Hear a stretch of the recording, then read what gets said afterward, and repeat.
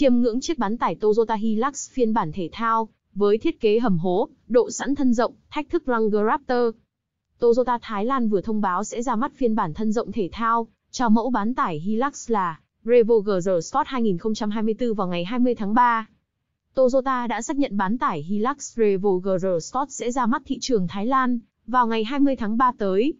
So với Toyota Hilux GR Sport thông thường, phiên bản Revo GR Sport sẽ có những tinh chỉnh và nâng cấp mới nhằm biến chiếc bán tải cỡ trung này thành chiếc xe hiệu suất cao.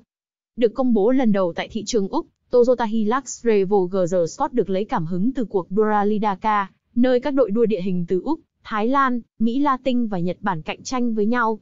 Hộp số tự động trên bản này đã được tinh chỉnh chủ động hơn và nay kết nối với lẫy chuyển số gắn trên vô lăng. Khả năng tăng tốc cũng được cải thiện so với nguyên bản.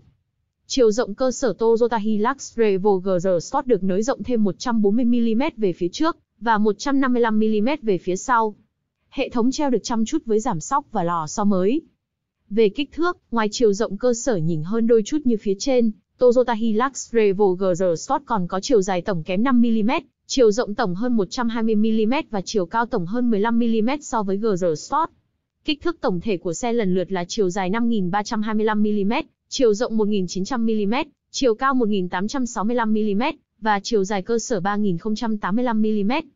Động cơ Toyota Hilux Revo GR Sport sử dụng là loại 2.8 lít tăng áp diesel giống bản gốc, nhưng công suất tăng 20 mã lực, mô men xoắn tăng 50 Nm, tức công suất 220 mã lực và mô men xoắn 550 Nm. Về thiết kế, ngoại thất của Toyota Hilux Revo GR Sport sở hữu bộ mâm hợp kim 17 in tối màu, mới đi kèm lốp đa địa hình, thềm cửa mới, cặp phanh đỏ và logo GR. Nội thất xe tiếp tục sử dụng tông đen chủ đạo và đỏ đan xen từ ốp trên chỉ trang trí. Bàn đạp thể thao, dây đai an toàn đỏ cùng logo GR Sport trên tựa đầu là một số thay đổi khác. Video đến đây là hết. Nhớ bấm like và đăng ký kênh để cập nhật tin tức và video mới nhất tại thế giới xe 360.